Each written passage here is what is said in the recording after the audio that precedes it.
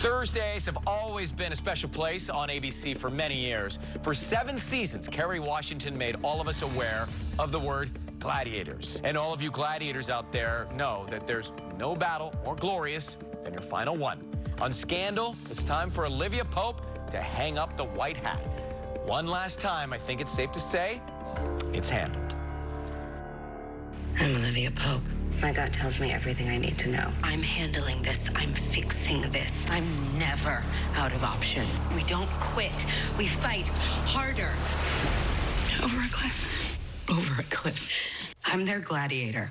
Scandal has always been about surprising you, Mr. President, you have lipstick on your mouth. keeping you on your toes, Are you the president's mistress?